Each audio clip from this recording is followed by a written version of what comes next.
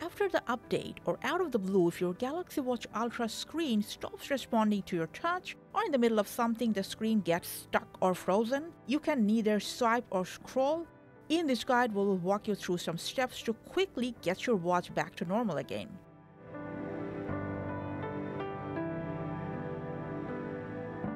First of all, just press and hold this power button for a, a couple of seconds and make sure your watch is not accidentally on water lock mode. Also, sometimes when your watch is connected to a charger, the charging info pops up, the screen just gets responsive again. Apart from that, if you change your watch face from the wearable app to literally anything, that revives the touch screen as well.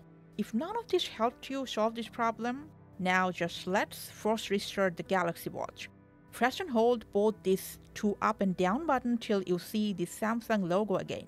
The watch will reboot and hopefully will start responding after that. If that didn't help, the next best way is to take your watch into recovery mode. Just make sure it's turned on. Now press and hold this power and these back buttons together till the Samsung logo shows up. Release the down button, press twice on the up one. You will enter into service mode.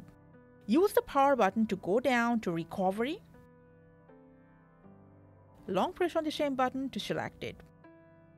After a moment, you will enter into recovery mode. Now use the down key to go down to wipe cache partition.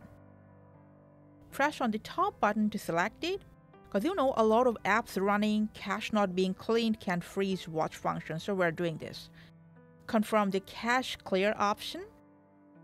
When once again you end up in this recovery section, from here, just select reboot system now. After your watch restarts normally, yes, I hope the screen will start responding to your touch once again. Problem solved, delivered as promised. Thanks for watching.